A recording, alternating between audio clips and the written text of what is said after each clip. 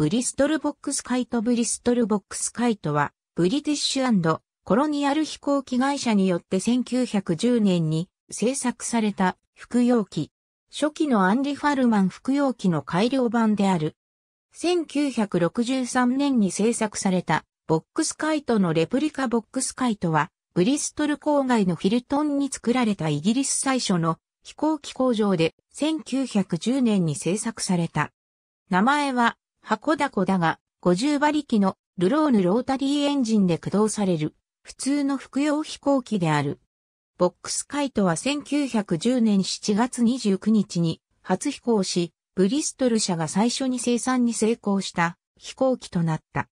76機製作されたが、ほどなく第一次世界大戦が勃発したことによって、そのうち61機が軍用機仕様に改造された。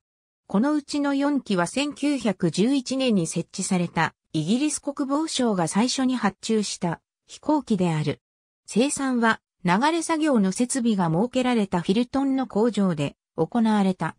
イギリスの航空のパイオニアの一人、ピジー飛行隊員は証明書を1911年2月14日にソールズベリー平原におけるブリストルボックスカイトによる飛行で獲得した。そしてその年のデイリーメールやレースに参加した。ボックスカイトはまた上下逆さまに着陸した最初の飛行機でもある。それはブルックスランドの総霊時スーリッジ農場で起きた。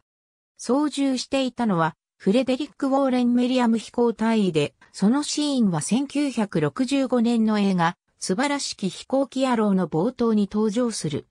現在、オリジナルのボックスカイトは残っておらず、映画、素晴らしき飛行機野郎のために1963年に制作された飛行可能なレプリカが3機あるのみである。